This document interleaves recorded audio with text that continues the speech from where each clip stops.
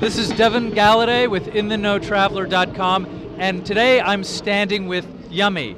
No, no, I'm standing with Yumi of Palau.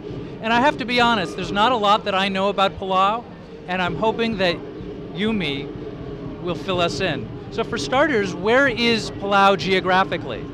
Uh, well, Palau is the westernmost island in Micronesia, and uh, it is about uh, two hours flight from Guam.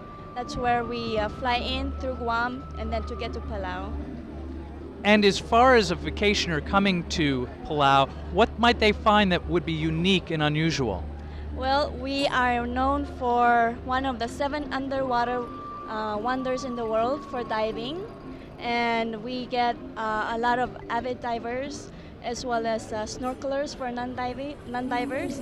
Um, we are also famous for the uh, jellyfish lake for snorkeling and kayaking, as well as nature and culture in addition. So we have a lot of activities uh, uh, to offer. And speaking of culture, what might the average traveler want to know about uh, Palau people?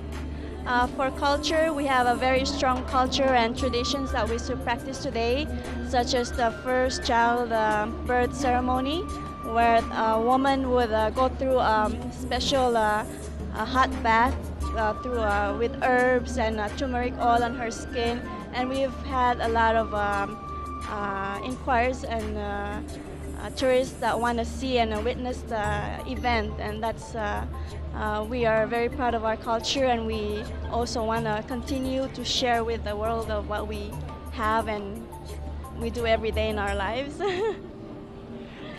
and in terms of cuisine and food, what might be uh, a specialty that somebody would find in Palau that they have to try? Oh, well, we have um, fresh seafood and mangrove crab that is the delicacy that most visitors have to try. Sounds delicious. And now, thanks to Yumi, we are now in the know on Palau.